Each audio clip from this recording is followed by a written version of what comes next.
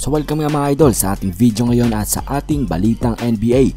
Ngayon ay pag-uusapan nga natin ang mga nalik na NBA jerseys ngayong araw na ito.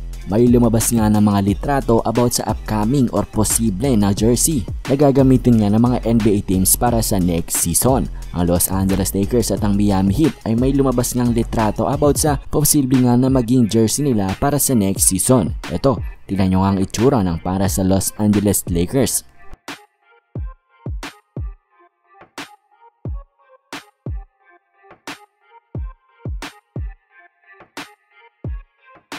At para din sa team ng Miami at mga idol, meron nga din leak na jersey sa kanila. Posible nga nila itong suotin para sa next season. Tingnan nyo.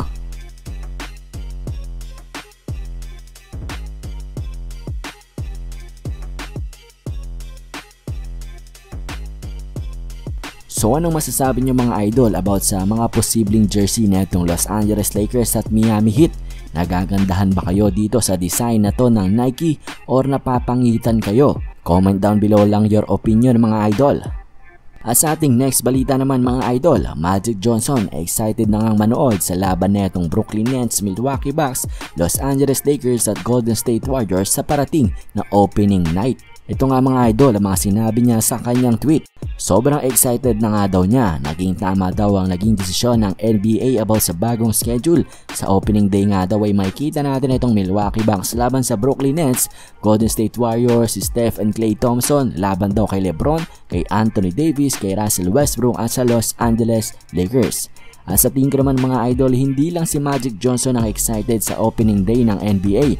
Sigurado't lahat nga tayo ay very excited na na mag-umpisa ang next season lalong lalo na napakaganda pa ng unang laban na ating mapapanood. Kayo rin ba mga idol, excited na rin mapanood kagaya ni Magic Johnson ang parating na opening day matchup natin? I-komento nyo lang ang inyong saloobin. At sa ating panghuling balita naman mga idol, Tyler Hero, naging hero nga sa mga bata ngayong araw na ito. Namigay nga siya mga idol ng Nike na bag sa mga batang papasok nga sa eskwelahan. Ito, panoorin nyo nga ang video clip ni Tyler Hero. Start the school year, you know, off on the right foot, you know, by giving these, you know, kids backpack supplies and just wanted to give back and make sure that they have the right, you know, supplies and tools to get through a long year of school.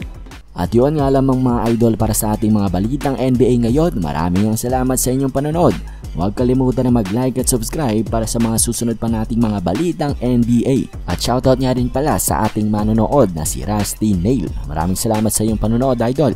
So yun lamang. Maraming salamat muli. Bye!